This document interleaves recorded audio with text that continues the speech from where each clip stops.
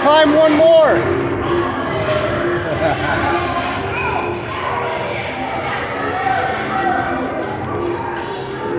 Go climb that blue one, babe.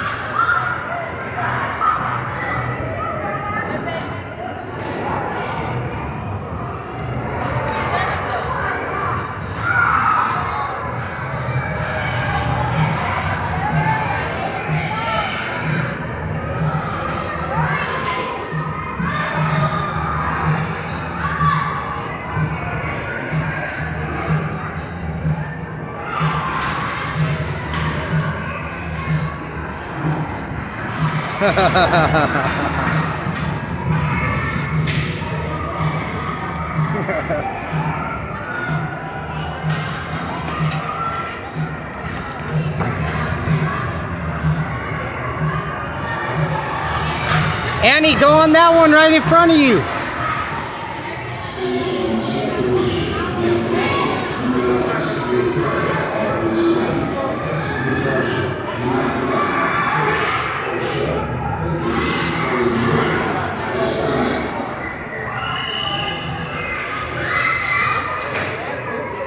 Hey, did you hurt your leg or what?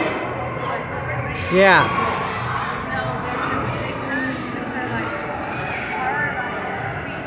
How about that?